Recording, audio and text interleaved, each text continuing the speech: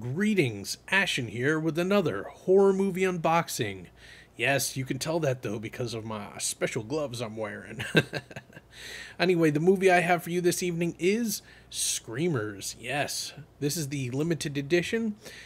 Stars Peter Weller. Let's flip over to the side here. You can see this movie was made in 1995 and it is from 101 films. Flipping over to the back, you can see there's a boatload of special features. So if you like this movie, there's a lot on here. Lots of interviews, the theatrical trailer, all kinds of fun stuff in here. From there, we are going to move on to the box itself containing the film. As you could see, it is the same as the slipcover over there. We open it up, and the art is still on the inside right here on the disc. I'm a little disappointed in this because uh, I don't know why they would make this transparent if they're just going to have white on the inside. It's a little lackluster in my opinion, but overall I am pretty satisfied with this. The last thing that we have is a little pamphlet that comes with the limited edition.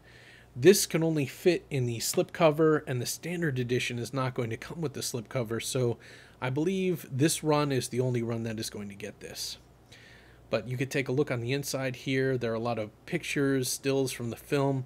Talks about the movie in depth and the ideology behind it, all kinds of interesting stuff, talking about things about the actors and whatnot during production. For somebody who loves this film, this is definitely nerd out material.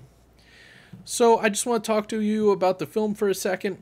I absolutely love this movie. There are some aspects of this sci fi horror that are a bit dated, but overall, the creature feature is wonderful. I love the designs, the atmosphere, the acting, everything about this movie. 99% of this movie is absolutely astoundingly good. There is a few hiccups in this movie because during this time period, special effects such as computer graphics were new. Particularly at the very end, there is one thing that kind of looks cringy. But aside from that, I fully recommend this film. I absolutely love it. And I've for a long time I've just been wanting them to touch up that one little scene at the end that uh, does look pretty rough. Anyway, I hope this uh, lets you know about this special edition here. If you want to pick up the standard edition of this, that I'm certain is going to come out. Uh, even if it doesn't have all this box and this cool stuff here, this movie is definitely a high recommend for me. I personally love it. Anyway, thank you for joining me on this video. I hope it was informative, and I hope you all have a great day. Yes.